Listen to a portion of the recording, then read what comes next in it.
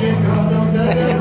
Ziyanına karışır Rızka bilmeyen asar rızka Koytan duyuyor